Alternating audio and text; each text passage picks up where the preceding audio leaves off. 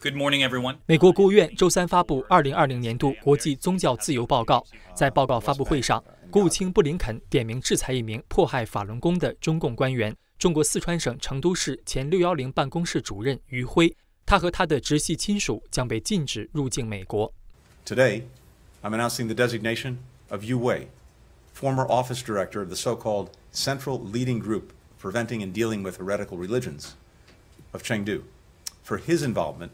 In gross violations of human rights, namely the arbitrary detention of Falun Gong practitioners. 这是自中共1999年镇压法轮功以来，美国政府第一次单纯因为法轮功问题点名制裁中共官员。当天，美国国务院还专门开设网页宣布对于会的制裁。国务卿布林肯也同时在官方推特上发布这一制裁。在这之前，也有参与迫害法轮功的中共官员被美国制裁的。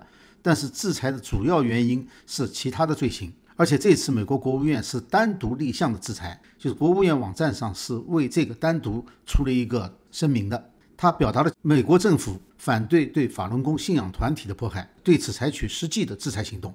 这次被点名制裁的中共官员余辉，在2016年8月到2017年7月担任四川省成都市专责迫害法轮功的610办公室主任。在此期间，成都市法轮功学员刘桂英等四人遭到非法抓捕、判刑，并在狱中受到酷刑折磨。余辉作为责任人之一，被海外追查国际组织列入追查名单。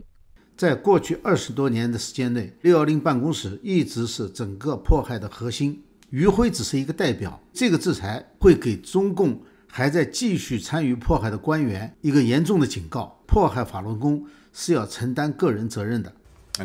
在周三的记者会上，国务卿布林肯批评中共迫害信仰自由，并持续对信仰团体犯下种族灭绝和反人类的罪行。布林肯承诺，美国政府将坚定不移地捍卫信仰自由这一天赋人权。This freedom is enshrined in the Universal Declaration of Human Rights. It's also part of the First Amendment to the U.S. Constitution.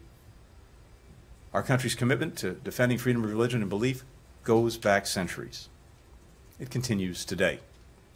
新唐人记者金石采访报道。